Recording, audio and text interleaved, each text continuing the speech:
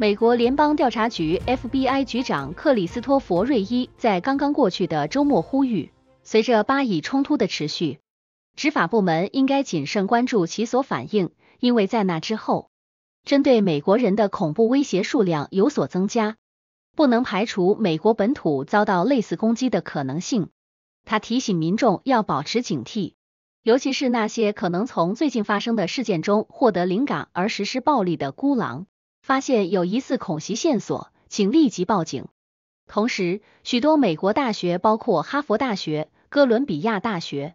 耶鲁大学、斯坦福大学和宾夕法尼亚大学等，已成为巴以双方抗议活动的爆发点，学生之间的对立关系达到白热化。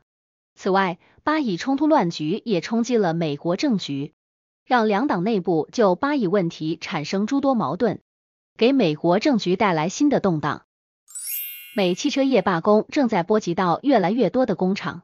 也有越来越多未参与罢工的汽车工人因工厂停工而遭遇临时性裁员，两方之间拉锯日渐焦灼。十月十六日，福特宣布将在该公司中西部几家工厂再裁五百五十名工人，理由是美国汽车工人联合会 UO 上周对其最大的工厂进行突然罢工，导致工厂运营受到影响。这些裁员是罢工的结果。因为这六个工厂必须减少通常运往肯塔基州卡车工厂和或芝加哥装配厂的零部件的产量。有报道称，迄今为止，福特因本轮罢工而采取的裁员人数达到了两千四百八十人。UO 主席 Sean Fain 此前曾批评福特和通用汽车公司的裁员行动，称这些公司试图向工会成员施加压力，但罢工会持续直至达成协议。美国联邦政府推出的储蓄者匹配计划 Savers Match Program 将于二零二七年起，将为四零幺 K 退休账户、四百零三 B 教育人员储蓄账户、雇员储蓄奖励配款计划退休账户以及传统个人退休账户每年存款最多两千美元，政府相对提拨百分之五十的适用范围。该款项是直接存入退休账户，而不是以抵税的形式。该计划旨在造福中低收入民众，年收入超过某个标准，相对提拨金额递减；到达某个门槛则失去参加资格。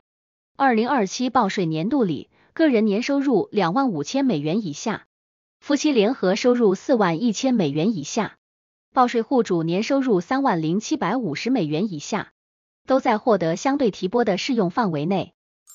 一位美国官员表示。